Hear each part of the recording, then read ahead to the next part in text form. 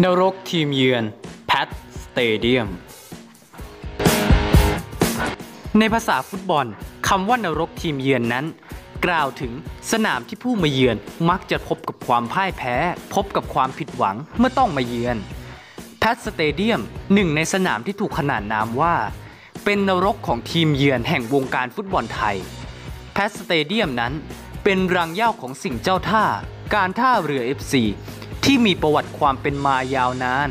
และเป็นทีมที่ปั้นนักเตะมาประดับวงการลูกหนังไทยมากมาย สนามแห่งนี้ตั้งอยู่ที่เขตคลองเตย กรุงเทพมหานคร เปิดใช้งานเมื่อปี 2010 เป็นสนามที่ไม่ได้ใหญ่โตอะไรมากนัก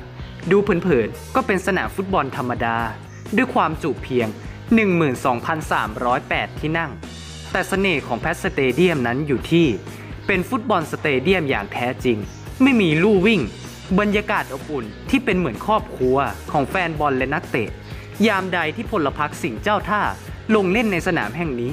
จะมีเหล่าบรรดากองเชียร์แสดน้ำเงิน เข้ามาให้กำลังใจอย่างล้นหลาม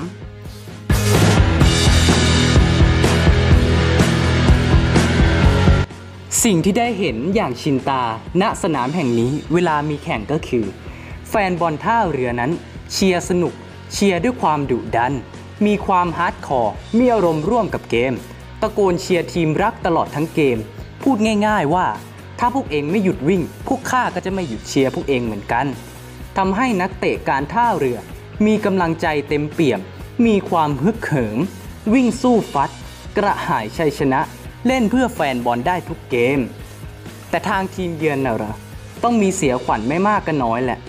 โดนกดดันจากแฟนบอลเจ้าบ้านขนาดนี้ ถ้าใจไม่แข็งจริง ไม่เก่าจริง ไม่มีประสบการณ์มาก รูปเกมนั้นเป๋แน่นอน ซึ่งในฤดูกาล 2561 นี้ การท่าเรือนั้นมีผลงานที่ยอดเยี่ยม รั้งรองจ่าฝูงณเวลานี้ ปัจจัยส่วนหนึ่งน่าจะมาจากกำลังใจของแฟนบอลที่เข้ามาเชียร์เต็มสนามทุกเกมทำให้นักเตะอยากเล่นเพื่อแฟนบอล อยากเล่นเพื่อทีมทำให้ทีมมีผลงานที่ดีขนาดนี้นะครับ นี่ก็คือ PAT Stadium นรกทีมเยือนแห่งวงการฟุตบอลไทย ขอขอบคุณสำหรับการติดตามรับชมนะครับ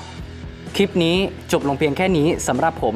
ขอตัวลาไปก่อนนะครับ ขอบคุณครับ